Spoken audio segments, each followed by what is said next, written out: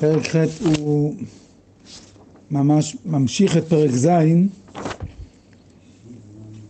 כמו שאפשר לראות שהוא מתחיל ככה ו, ועוד, ועוד זאת, אז אה, בפרק ז' דובר על הנפש הבהמית, בעיקר על העניין של אה, תאוות היתר, שבעצם אה, אפשר, אפשר להגיד ככה שהאדמו"ר הזקן מוציא לנו את, ה, את ההנאה מכל התאוות היתר. אחרי, אחרי שלומדים את זה טוב, אז אחרי כל פעם שיש לך את משהו של תאוות העולם הזה, אתה מיד כבר עושה לך, מוציא את הטעם. כי הוא מסביר שתאוות היתר, גם התאוות היתר של, של קליפת נוגה, אז הם, הם בעצם, שכל עוד הבן אדם עושה את זה רק למלא את תאוות גופו, אז שייך לקליפה, יורד אפילו לקליפות הטמעות. רק הוא הסביר, הסביר בסוף הפרק הקודם, שזה ההבדל בין הדבר שהוא מותר לפי ההלכה לדבר שהוא אסור, שאסור זה קשור, אז המאכלות אסורות, ביאות אסורות, אז החיות הזאת היא אסורה וקשורה בידי הקליפה, מה שאין כן דבר מותר גם אם הבן אדם עשה את זה מתוך מודעות בעייתית וגם אם זה ירד אה, לקליפה אבל זה יכול לעלות משם. אז אם אכלתי משהו סתם מתוך איזה תאווה אבל זה דבר מותר אז אפשר, זה יכול לעלות משם. הוא דיבר גם, גם, על, גם על מאכלות אסורות גם על ביאות אסורות ו... סליחה, שמשהו אסור הוא לא יכול לעלות משם, אז הוא דיבר גם על מאכלות אסורות, גם על ביאות אסורות, ואז הוא הקדיש משהו מיוחד לעניין של הוצאת זרע לבטלה, שזה משהו מיוחד. עכשיו, פרק ח' ועוד זאת במאכלות אסורות. עכשיו יש משהו שהוא, מקודם הוא דיבר גם על מאכלות אסורות, גם על ביאות אסורות. עכשיו הוא אומר, במאכלות אסורות יש משהו יותר חמור. אפילו מביאות אסורות. למה? כי המאכל הוא נכנס בתוכי. ביאה, זה נכון שבביאה הבן אדם עשה מעשה והוא השכיח כאילו חלק מה, מה, מהנפש שלו הייתה מלובשת במעשה הזה ויש בזה חיות במעשה, אבל זה, זה לא נכנס לתוכי. מאכל הוא נכנס לתוכי. לכן כל, העניין של, אני חושב שזה מאוד בולט ש, שבחסידות מאוד מאוד אחת ההנהגות המעשיות שהחסידים, חסידים אמיתיים מקפידים עליה זה בענייני מאכל, זה לא סתם, כאילו שבענייני מאכל זה שעושים מהדרים בענייני מאכלות זה, זה נובע מזה שמבינים את ה, עד, כמה, עד כמה מאכלות אסורות יכול לפגום, יכול לפגום בנפש. ועכשיו בעצם זה, זה מה שהוא ידבר בהתחלה על מאכלות אסורות אחרי זה הוא יחזור לדבר על, על המאכלים המותרים, אבל בהתחלה פה הוא מדבר על מאכלות אסורות. אז נקרא את זה בפנים. ועוד זאת מאכלות אסורות, שלכך נקראים בשם איסור, שהוא הסביר מקודם שאיסור זה נקרא קשור, אסור זה קשור, מפני שאף מי שאכל מאכל איסור בלא הודע, לשם שמיים, לעבוד השם בכוח אכילה היא, וגם פעל ועשה כן, וקרא והתפלל בכוח האכילה ההיא, אין החיות שבה עולה ומתלבשת בתיבות התורה והתפילה כמו ההיתר, מפני איסורה בידי הסיטרא אחרא משלוש קליפות הטמעות. עכשיו הוא אומר, זה חידוש, בן אדם, הוא חשב שהאוכל הוא בסדר, הוא חשב שהאוכל הוא כשר, הביאו לו, הוא היה, איך הוא קורא לזה? בלא הודה. גם מי שאכל מאכל איסור בלא הודה. לא הודה זה לשון חז"ל על שוגג. יש כאלה שאומרים אפילו, אפילו, זה לא סתם שוגג, אלא אפילו, שהוא באמת לא, לא היה צריך לדעת בכלל, כאילו אפילו אנוס כזה. אני יודע, הוא הלך, הוא, הוא בדק, אמרו, אמרו, אמר לו בן אדם נאמן שזה כשר למהדרין, וזה פתאום התברר שהייתה איזו תקלה והיה שם בלאגן. היה אסור לאכול את זה, בשר וחלב, או לא יודע מה, או עורלה, או לא יודע. עכשיו הוא, הוא עשה את זה לגמרי בשוגג. אתה, כאילו... אז כן, בגמרא שמדברים על אפילו אותו חתיכת בשר, שומן, כן. שזה בעצם חלב. שהוא חשב שהוא אוכל שומן והוא אכל חלב, אז הוא אכל קורבן, הוא חייב קורבן. אבל נדמה לי שדווקא בחיוב קורבן זה דווקא במקרה שהוא היה אמור לדעת, אבל אם הוא היה... הפתו אותו, זאת אומרת, הוא לא, הוא חושב שהוא אוכל דבר קשה כן. אבל כן. הסנהדרין כביכול איתם, איתם. אה, נכון, נכון, אז יש כזה דבר אפילו שהסנהדרין איתו, נכון. אז בכל מקרה, זאת אומרת, אין לי, אני לא כל כך מאשים את הבן אדם, מה שנקרא את הגברא. להגיד בלשון של הגמרא מחלקת בין איסורים של גברא לאיסורים של חפצה. אחרי זה האחרונים, ראשי הישיבות עושים מזה הרבה, הרבה לומדש, מה זה איסור גברא ואיסור חפצה. פה מצד הגברא, מצד הבן אדם, זה לא ניש גפר לך, אפשר לחשוב, הבן אדם בסדר, אז נכון שצריך להביא כפרה גם על שוגג, אבל אני אומר אפילו במקרה של אנוס, ככה הייתי שאומרים. במקרה של אנוס בכלל לא, אפילו לא בטוח שהוא צריך, אה, אני לא יודע, לגבי הלכות קורבנות צריך לבדוק. מקרה שהוא ממש אונס. הדימוי פה. כן. אסור, קשור. כן. אפילו מאכל אסור. הוא קשור בקליפות הטמאות. אז אנחנו... אז הוא לא יכול לעלות. זהו, אפשר להביא לזה דוגמה. כן. אפשר להביא לזה דוגמה, שבן אדם אכל. אומרים לו, היי, זה היה רעל, אבל לא התכוונתי, מה זה משנה, זה רעל, זה נכנס לך לגוף, זה לא משנה, זה לא בריא. אז גם, אז גם כאן, זה אובייקטיבית, לא קשור למעשה שאתה עשית, אתה, אתה בסדר, אתה אנוס, לא בטוח שאתה צריך לעשות, להביא כפרה, אני לא יודע, צריך להסתכל שם בהלכות קורבנות וזה, אבל, ולא, עוד יותר מזה, הוא עשה את זה לשם שמיים, לעבוד את השם בכוח האכילה, מבחינת הכוונה שלו, גם הכוונה הייתה מעולה. הרי מה למדנו בפרק הקודם? שהאוכל, אם יש, אה, כן, קליפת נוגה, אפשר להעלות אותה לקדושה, כגון מישהו שאוכל, להרחיב דעתו להשם ולתורתו, כדי, או כל הדברים האלה. אז הוא הבן אדם עם הכוונות הכי טובות, הוא צדיק. הוא בכלל ניגש לאכול, הוא אומר עכשיו אני כדי שיהיה לי כוח ללמוד, אני יושב ואוכל, כוונה הכי טובה בעולם. אז, אז בכלל הוא לגמרי צדיק. ועוד יותר מזה, זה לא רק שהכוונה שלו הייתה, הוא גם בפירוש, זה מה שהוא עשה, הוא גמר לאכול בערך ברכת המזון והתיישב ללמוד, למד, היה לו כוח עכשיו, הרביץ כמה שעות רצוף של לימוד, בכוח האכילה הזאת. אז לכאורה עכשיו, מה אתה רוצה? כאילו, גם הבן אדם הוא בסדר גמור, גם הכוונה שלו בסדר, והוא גם עשה עם זה, הוא השתמש הרי באנרגיה הזאת, הוא השתמש. אז הייתי חושב שזה כן עולה. אומרים לי לא, לא, לא, זה לא עולה.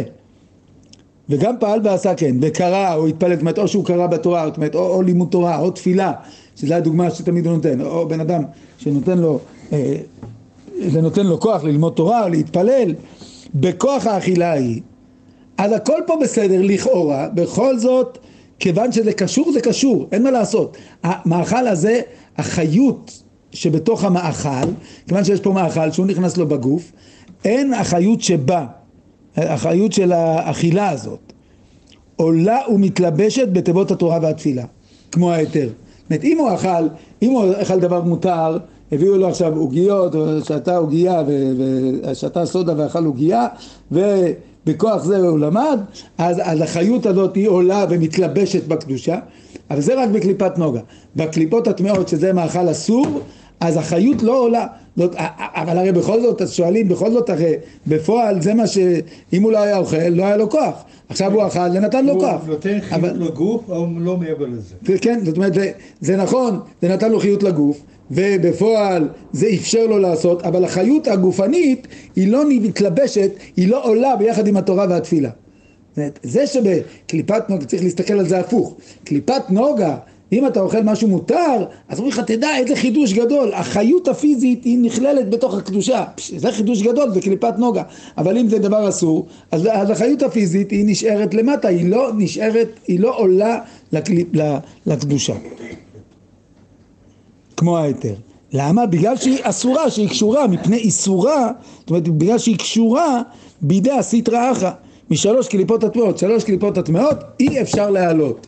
חוץ ממה שהוא אמר, זה תשובה, תשובה מאהבה, והקדוש ברוך הוא בילה מוות לנצח, אבל באופן כללי מצד העבודה של האדם, אז הוא לא יכול להעלות את זה.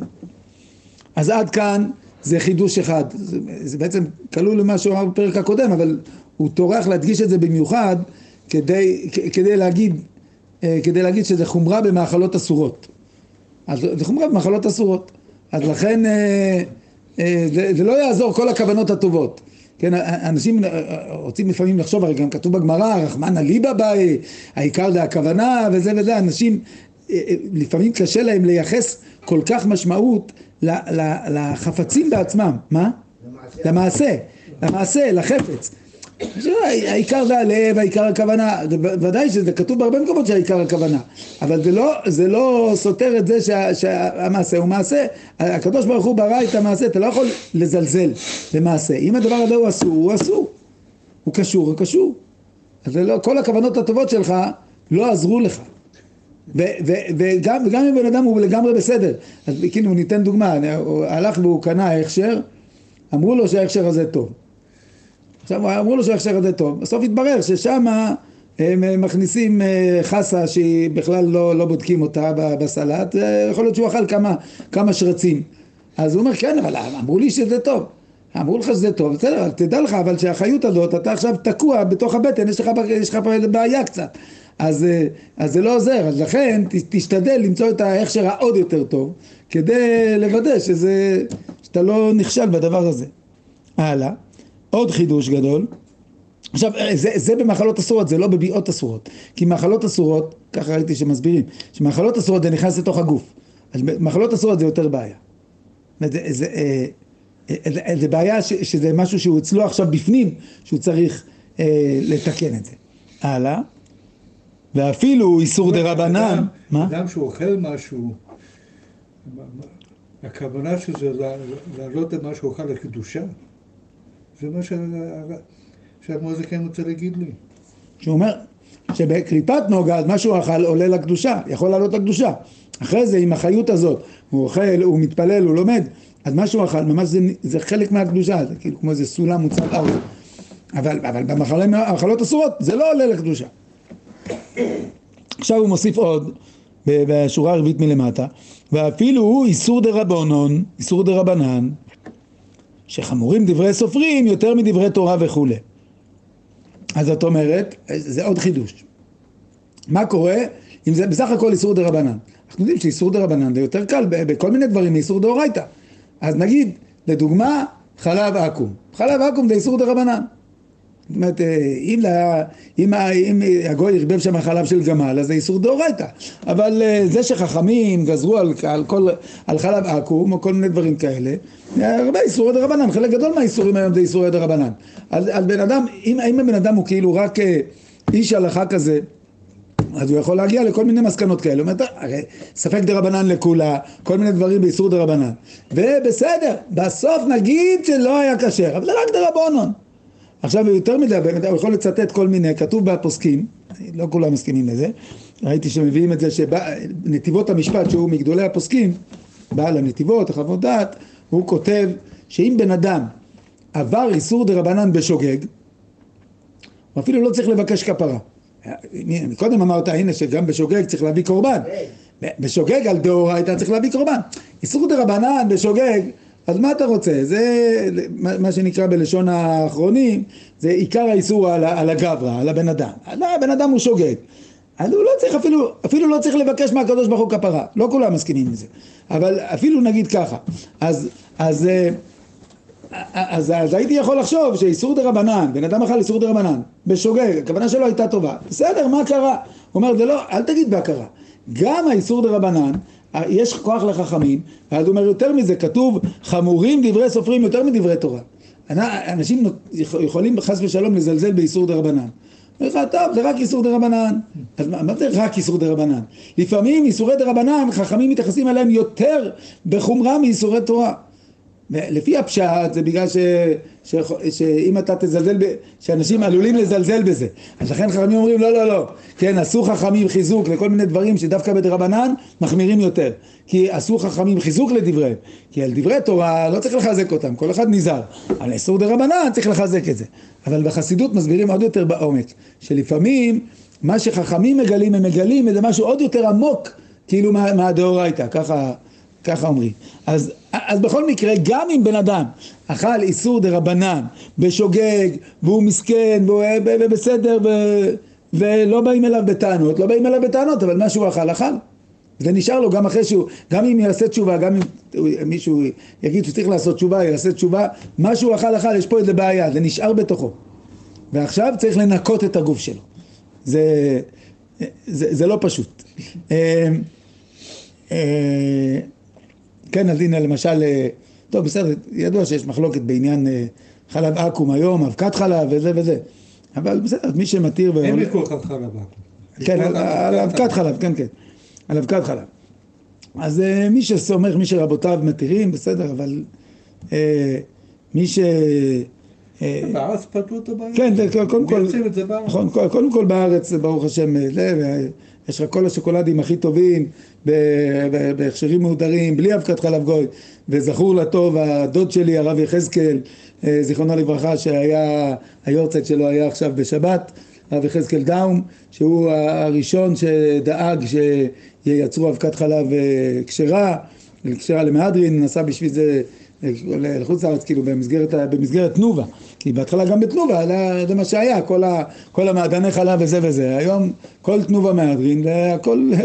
היה פעם מגדים, זוכר מגדים? היום יש עדיין מגדים. עדיין כן, מגדים? כן, יש מגדים, מגדים זה בעילית, בפס ייצור בעילית, בחברת עילית, אבל בתנובה, אתה רק מסתכל, אתה רואה את החותמת של תנובה מהדרין, אתה רגוע, תנובה מהדרין, פתרו, אין חלב שנחלב בשבת, אין חלב, אין אבקת חלב בעייתית, ג'לטין בעייתי, כל הדברים האלה פתרו מהדרין, שמה, זה, באמת מהדרין, זה המורשת של הדוד שלי, זה זכר צדיק לברכה. אז, אז, אז שוב, אז כאילו, בן אדם יכול להגיד לעצמו, אז שוב, בסדר, מי שסומך, וזה אי אפשר לקטרג על מי שסומך על המתירים, אבל אם אתה אם אתה מהדר בדבר הזה, ויש סיבה טובה להדר, להדר בזה, במיוחד לפי מה שהולך בדרך החסידות, והיום זה כל כך קל להדר בזה, אז... אז אה, בארץ. כן, בארץ, בסדר. אז זה בא בחוץ לארץ, אז אל תאכל שוקולד. בסדר, אני לא אוהב, בסדר, בארץ. זה כל כך, ברוך השם, שזה קל להדר בזה. אז, אז, אז אתה יכול תמיד למצוא לעצמך תירוצים, בסדר, נו, אז אני לא הסתכלתי, בסדר, אז היום, אז אכלו, לא, אם אתה מהדר בזה, אז תהדר בזה, שלא ייכנס לך לגוף הדבר הזה. טוב, ולכן, אז, אז, עד כאן לעניין אחד, שגם אם הוא אכל את זה בשוגג ולמטרה טובה וזה וזה, בכל זאת, החיות הזאת שנכנסה לתוך הגוף שלו, היא נשארה קשורה בידיים של הסטרה אחת. עכשיו הוא מוסיף עוד משהו, ולכן, שורה שנייה מלמטה, ולכן גם היצר הרע וכוח המתאווה לדברים האסורים הוא שד משדים נוכרעים. צריך להסביר את זה. שהוא יצר הרע של אומות העולם. כתוב פה אומות עובדי גילולים, כמובן ב... כותבים את זה בגלל הצנזורה, נסתכל רגע במה שנקרא לוח התיקון. לוח התיקון, כל מקום שכתוב עובדי גילולים, אז ישר אומרים לך שצריך להיות העולם. אומות העולם.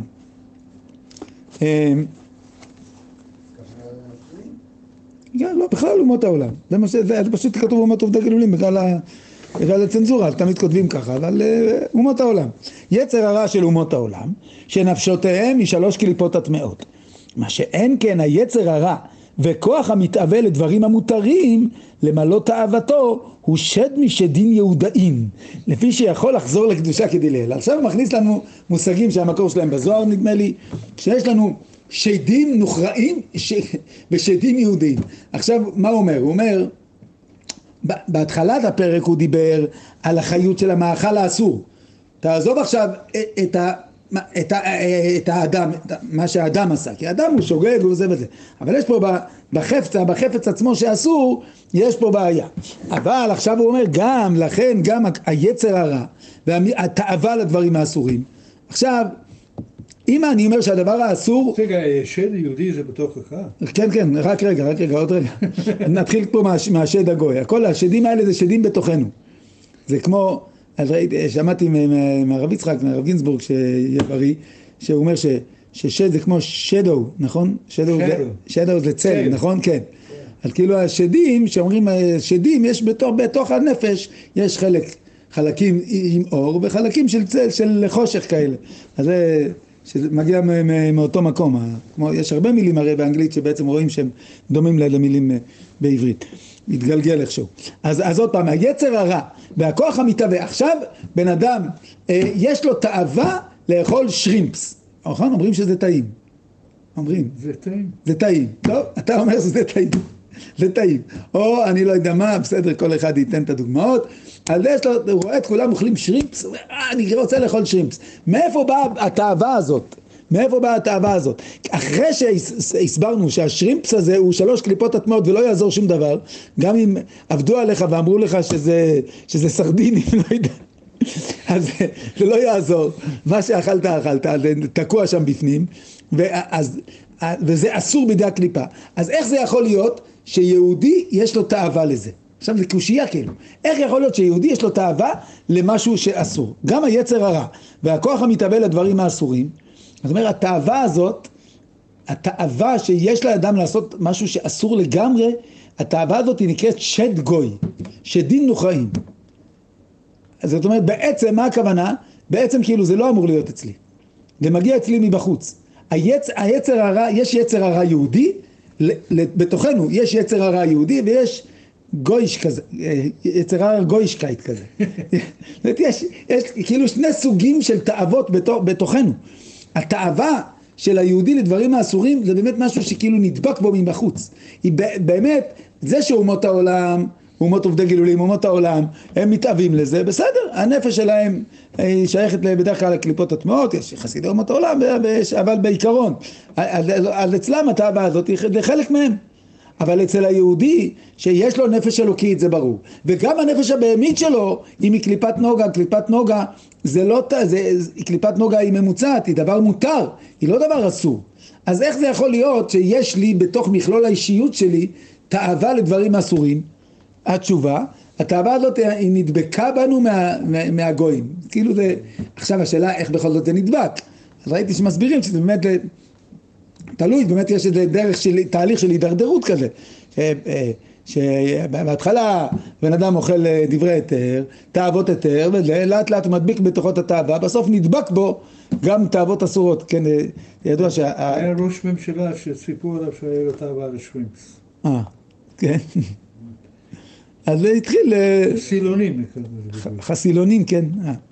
אז, אה, אז, אז אם יש... אבל יש. מה? יש תחליף קשה לזה. כן. אז... אה, מדי. הגמרא אומרת, כל מה שהקדוש ברוך הוא אסר לנו, הוא התיר לנו, הוא התיר לנו משהו כנגדו. כן, שהוא אסר לנו בשר חזיר, והתיר אה, בשר של דג שנקרא שיבוטה, שהוא טעם שלו דומה לחזיר. אז הגמרא אומרת, כל דבר, הוא אסר לנו בשר בחלב, התיר לנו כחל, שזה כאילו החלק של הטינים של הפרה, שאפשר להכשיר אותם, ויש בזה טעם קצת כמו של בשר בחלב. הגמרא נותנת כמה דוגמאות. שמעתי ליהודי פיקח שהוא אמר, אסור לנו ריבית, אבל יש לך, מותר משהו שדומה לריבית. מה זה? ליהנות מנכדים. נכדים זה ריבית. זה? כן, אתה, אתה משקיע בילדים, ואז פתאום יש גם נכדים. זה... זה כמו ריבית, אתה מקבל ריבית, ריבית דריבית. אה, בסדר, ההשקעה הישירה זה לאחל יש אה, אה, דיבידנדים. אז, אז בכל מקרה, אז מאיפה באה התאווה בכל זאת לדברים אסורים? התאווה של האיסור היא נדבקה ביהודים מבחוץ, זה משהו מיוחד, זה נקרא שדין נוכרעים. זה כמו איזה שד בתוכי, כמו בן אדם נדבק בי שד, פתאום נדבק בו איזה תאווה. למה נדבק? זה, זה לא חלק מהותי מתוך הנפש, אבל זה נדבק, זה בעיה. מה שאין כן היצר הרע, עכשיו דף י"ג, מה שאין כן היצר הרע בכוח המתהווה לדברים המותרים, למלא תאוותו, זה שד, שד יהודי, יש שדים יהודים. כן? יש שדים, יש שדים גויים ושדים יהודים.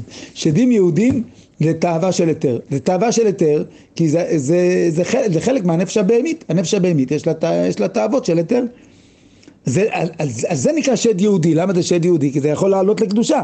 כל משהו שהוא עדיין מותר, זה לא אסור, אז גם אם בן אדם עשה את זה בצורה לא טובה וזה ירד בינתיים לקליפה, אחרי זה יכול לעלות לקדושה, כי זה מותר, זה לא קשור, זה לא אסור. אז יוצא שיש לנו בתוכנו שני סוגים של שדים.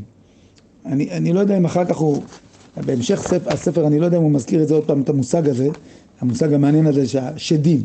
בכלל, אה, צריך לחשוב על זה שה, שה, שהיצר שה, שהיצר אורה, התאווה זה כמו איזה שד שנדבק בי. אבל תדע, אבל, אבל, תדע לך, יש שד שהוא נדבק בך מבחוץ, ויש שד שהוא חלק ממך. עכשיו, ברגע שבן אדם אה, מודע לזה, אז אה, זה גם, אה, זה גורם לו, עכשיו אני קורא משהו מספר אה, של, של הרב גינזבורג, קורא פה כמה משפטים, ש...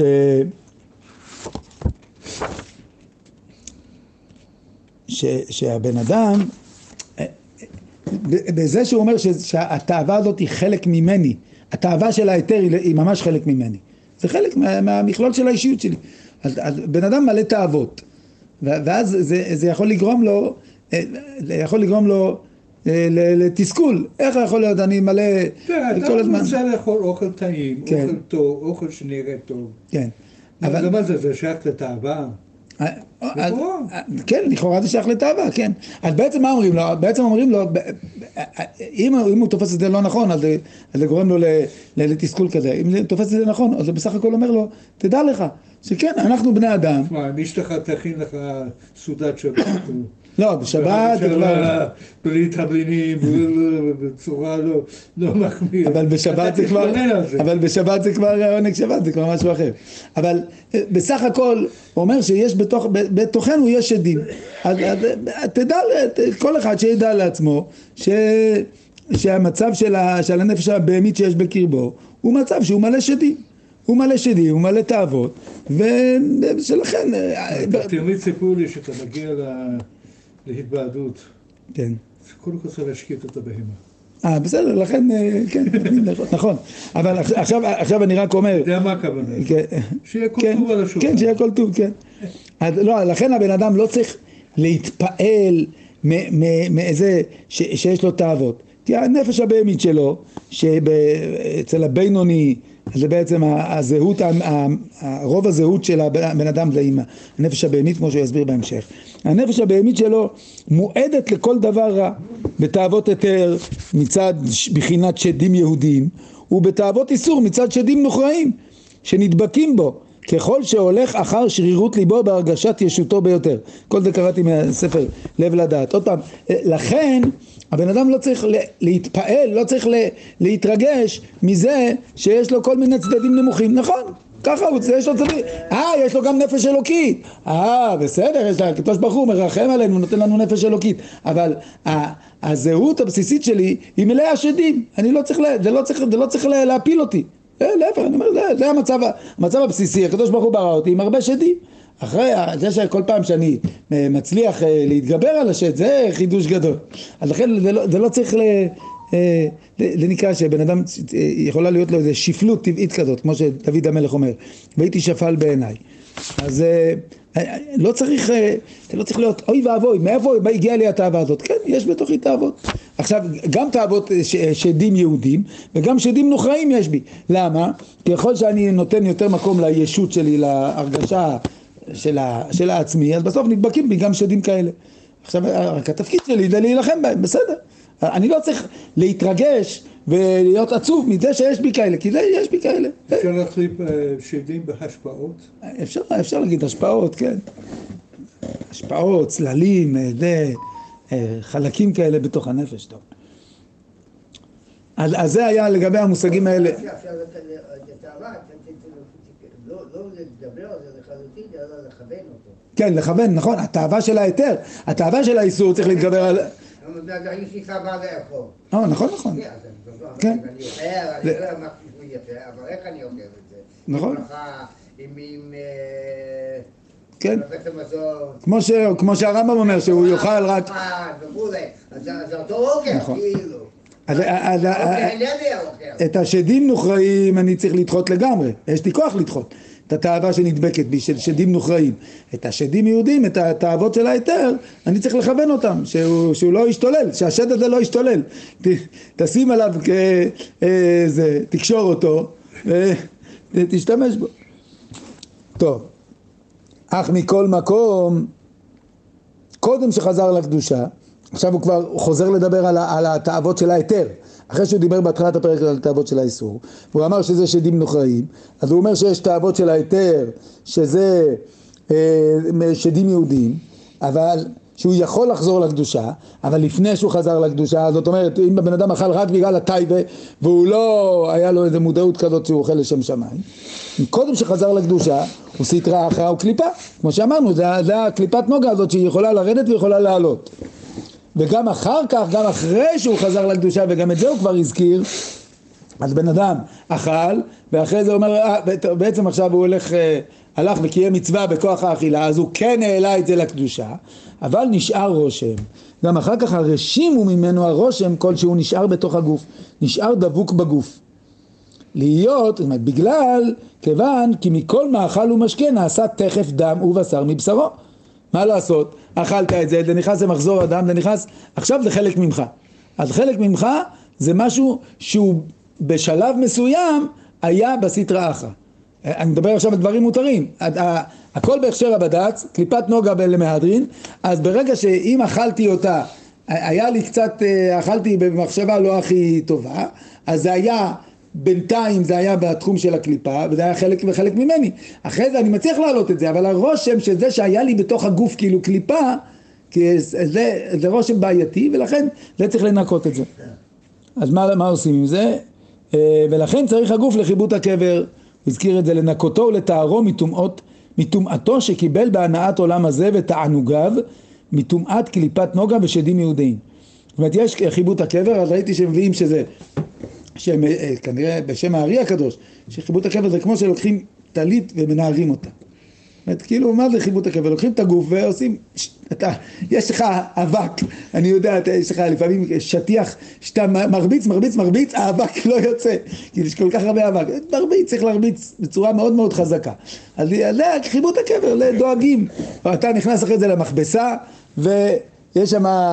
עושים כיבוס טוב לגוף. זה אחרי המאה ועשרים. זה אחרי המאה ועשרים, וזה לא אחריות שלנו, יש שם מכבסה, אתה מוסר את זה למכבסה, ודואגים לזה המלאכים שאחראים על המכבסה. יש גם כף הקלע. הכף הקלע הוא הזכיר בהמשך. אז עכשיו בשביל מה הוא אומר לנו את זה? כדי לעשות לנו רע על הנשמה? לא, כדי להגיד כל דבר שאומרים לך את החומרה עד כמה צריך לעבוד כדי לנקות את זה, שתדע, תדע שזה לא פשוט. תדע, תדע כבר עכשיו ש, ש, שכל כל פעם שאתה משתמש, אתה נותן לשד היהודי שבך להשתולל, אחרי זה תסתכל, עובדה שצריך אחרי לנקות את זה. אז תדע לך שזה עושה כתם. אז ת, תהיה זהיר בזה, שיהיו לך כמה שפחות כתמים. אלא אם כן, מי שלא נהנה מהעולם הזה כל ימיו כרבנו הקדוש. עכשיו אומר, יש, יש אנשים, יש, פה משמע שזה יחידי סגולה. הרבנו הקדוש, מי זה רבנו הקדוש? רבי יהודה הנשיא. רבי יהודה הנשיא, אז זה לפני מותו, הוא הרים עשר אצבעותיו ואמר שהוא לא, איך לא נהניתי מהעולם הזה אפילו באצבע קטנה. עכשיו, לרבנו הקדוש זה החידוש, כמו שכולם אומרים, הרי כתוב, הוא היה עשיר, לא פסקו משולחנו, היה בו כל המעדנים בשולחן שלו. ובכל זאת, הוא לא נהנה, זאת אומרת שגם כל מה שהוא עשה, הוא אכל רק לשם שמיים. ורק זה, הסימן של לא ליהנות זה לא אומר שאתה צריך אה, להיות, אה, אה, לא לאכול, הוא אכל, לא כתוב שהוא לא אכל, אבל הוא לא נהנה מהעולם הזה, זאת אומרת לא הייתה לו שום הנאה שהיא הייתה, לא, שהיא לא הייתה מכוונת לשם שמיים. אז מישהו כזה שהוא יכול להגיד על עצמו שלא נהניתי מהעולם הזה באצבע קטנה, אז הוא לא צריך לנקות אחרי זה, הוא לא צריך ניקיון. הוא, הוא פטור מחיבוט הקבר, כי לא נשאר בו שום רושם, הוא ישר אצלו, כל, כל הקליפת נוגה שנכנסת אצלו היא מיד עולה לקדושה, אבל אצל אנשים אה, קצת פחות אה, זה, אז יש להם כל מיני פספוסים, ואחרי זה הם צריכים להעלות את זה, ואחרי זה הם צריכים, יצטרכו את זה ניקיון, בסדר, ידאגו להם לניקיון, מחלקת הניקיון התברואה. אה, עוד קצת, ועל דברים בטלים בהיתר עכשיו הוא עובר לדוגמה אחרת, עד כאן הוא דיבר בעיקר על מאכלות אסורות, בעיקר, אה, ב... לא רק, אבל בעיקר מאכלות אסורות. עכשיו הוא נותן דוגמה חדשה, דברים בטלים. דברים בטלים. אה, מה זה דברים בטלים? סתם, זה לא דברים אסורים, לא לשון הרע, לא רכילות, לא ניבול פה, לא ליצנות, סתם, דברים סתמיים. בהתר. מה זה בהתר? עכשיו יש פה בעיה. אם בן אדם שהוא יכול לשבת וללמוד בכולל והוא הולך ומדבר דברים בטלים, אז זה ביטול תורה. אז זה כבר לא, זה כבר לא היתר. אז מה אומר, איך זה יכול להיות דברים בטלים שהם רק בהיתר? בוא ניתן איזה דוגמה כזאת. מישהו מדבר דברים בטלים? זה, זה לא אסור. כגון עם הארץ, שאינו יכול ללמוד. הבן אדם, אה, הוא אנאלפבית, הוא לא יודע מה. הוא, היום זה לא כל כך תירוץ, כי בסדר, ת, תפתח באינטרנט, תשמע, תשמע שיעורים שברמה הכי נמוכה בעולם. איזה רמה? מה, איזה רמה שאתה רוצה, אתה יכול לשמוע, אני בדיוק שמעתי אתמול איזה שיעור בעיון, משהו משהו, ואתה יכול לשמוע דרשה של רב שהכל תוכו רצוף אה, 90% בדיחות ו-10% דברי תורה, והכל בעזה, הכל בסוף דברי תורה. אז לאף אחד אין תירוץ היום, אבל בסדר, נגיד שכן. שיש מישהו, הכל כאילו כדי, כדי להדגיש שגם גם הדיבור, דיבורים אה, בטלים שהם לגמרי מותר, מישהו עכשיו, או נגיד הוא לא יכול, הוא אמר את זה עכשיו, הוא לא יכול זה. דבר בטל של- של לגמרי מותר. כן, זה מה שהוא אומר. שיכול- בהתר, הוא אומר בהתר. עכשיו, מה הכוונה? הוא, אז זה מה שהוא אומר, זה בדיוק, זה הקליפת נוגה, זה כמו שהוא בסדר, הוא כמו זולל וסובב, בדיוק. אז הוא זולל. אז הוא כן, הוא משחק כדורגל, וזה, והוא זולל וסובב, אבל הכל כשר למהדרין. אז, אז עכשיו, עכשיו אותו דבר, אה, הדברים בטלים ביתר כגון עם הארץ שאינו יכול ללמוד, אז איך את זה הטהרה, מקודם הוא הזכיר את, ה, את החיבוט הקבר, עכשיו הוא מזכיר משהו אחר. צריך לטהר נפשו מטומאה זו דקליפה על ידי גלגולה בכף הקלע, כמו שכתוב בזוהר פרשת בשלח. עכשיו יש עוד, עוד אה, משהו שתדע לך. עכשיו שוב בדרך כלל בספר התניא הוא בדרך כלל לא מדבר על עונשי העולם הבא, זה לא, זה לא הסגנון של הספר בכלל. זה מי שרוצה, פותח ספרים כמו ראשית חוכמה, משהו וזה וזה, כל מיני תיאורים על עונשים וזה, זה, פה, הוא לא מפחיד אותנו בכאלה דברים, זה, לא, זה, זה רק כדי לה- להסביר את הפגם שזה נוצר בנפש. אז הבן אדם, יש לו דיבורים בטלים, והוא לא, זה, הכל, הכל מותר, הכל מותר, אבל זה קליפת נוגה. קליפת נוגה, אז עכשיו מה, מה קורה עם הקליפת נוגה הזאת? זה רוח כזה, זה דיבורים, דיבורים, דיבורים, הכל דיבורים, אז בשביל זה אחרי זה יש לו כף הקלע. מה זה כף הקלע? זה דבר בקליפה, נוגה זה דבר בהיפוכו. קליפה שהוא אור. כן, כן. אז עכשיו, מה זה כף הקלע? הביטוי כף הקלע הוא לקוח מה, מהנביא, שאביגיל נדמה לי אומרת לדוד המלך, את נפש אויביך יקלענה בתוך כף הקלע. זה משל כזה שעונש של ה... מה זה כף הקלע? זה כמו, אה, כן, זה, ש... אה, שזורקים אותך. כן, כן, שאתה לוקח איזה, לא, כמו שילדים עושים ככה עם קלע כזה, הם קוראים לזה, זורקים ככה, או כמו שיש, אני יודע, קטפולטה כזה של אה, אה, בליסטראות, שהרומאים היו משתמשים. הניהול לא עוזר, הזריקה עוזרת. אז עכשיו, אז עכשיו מופיע בגמרא גם, הגמרא אומרת, יש מלאך, מלאך אחד פה, מלאך אחד פה, זורקים, משחקים בך מסירות. זה כאילו, ההוא, מוסרים אותך מאחד לשני, המלאכים. אז מה הכוונה? אז מסבירים שזה, שהכוונה ש, שה, שאחרי 120 הבן אדם נפטר, ו, ו, ובמקום שהנפש שלו תוכל ליהנות מ- מרוחניות וקדושה, אז הנפש שלו עדיין מרגישה מבולבלת במחשבות של העולם הזה. זה הכף הקלע. שזה, ה- בגלל, ש, בגלל שהדיבורים, אה, הוא אומר, על מה זה, זה מגיע לדברים בטלים. בגלל שבעולם הזה הוא עסק בהרבה דברים בטלים, אז גם שמה זה כאילו חלק מהעונש, או חלק מהניקיון שלו, שזה יש לו, יש איזה משהו שהנפש שלו לא מצליחה להשתחרר, זה הכוונה כף הקלע. שהוא לא מצליח להשתחרר, הוא הולך לפה, כאילו, או, או, או גם ראיתי שמביאים, שמסבירים את זה, ש, שמצד אחד, הוא אחרי 120 הוא רואה את האמת. הוא רואה את האמת, לא יעזור לו. אז הוא רואה איפה הקדושה, והוא רוצה להידבק בקדושה, ולהידבק בקדוש ברוך הוא, אבל הוא מרגיש שכל הדברים בטלים שהראש שלו היה בעולם הזה, מושכים אותו בחזרה לעולם הזה. אז הוא נמצא כל הזמן, הוא מיטלטל ב, בין הרצון כבר להידבק, כאילו, הוא רואה שם הצדיקים יושבים ועוסקים בתורה, אז הוא גם רוצה ללמוד תורה, אבל המחשבות שלו לא נותנות לו, אז הוא נמצא בכף הקלע. וזה זה, זה איסורים כאלה של כף הקלע. ש- יש לו גם אה, מחשבות לכיוון החיובי. שמה? כן, אז הם, לוקחים אותו לפה ולפה, אז הוא כאילו, זה נקרא כף הקלע, שהוא נזרק ממקום למקום. יש אנשים שאתה מסתכל עליהם, אתה אומר, גם בעולם הזה הם נמצאים בתוך כף הקלע, שהם כאלה עוברים, עוברים אה, מקיצוניות לקיצוניות, אה, ככה וככה וככה, כף הקלע כזה, אין להם, אין להם מנוחה, זה כאילו, זה ביטוי כזה שהוא נזרק ממקום למקום, הוא לא יכול לשלוט על עצמו, הוא, אין לו יציבות. כל כל כל החיים הוא... מה- מה לעשות עכשיו? האם לשבת אה, לקרוא עיתון או לפתוח ספר? ו- כן, נכון, אז אפשר להגיד שגם זה סוג של כף הקלע, נכון? ויש אנשים ש... זה כן. אה, כן, אז אפשר, כן, לכל אחד מאיתנו יש גם סוג של כף הקלע. אז, אה, אז כנראה זה כדי לה- להדגיש את ה... אני, אני חושב שמקודם הוא אמר ש... מקודם לגבי חיבוט הקבר הוא הדגיש שזה קשור לגוף, טומאה של הגוף.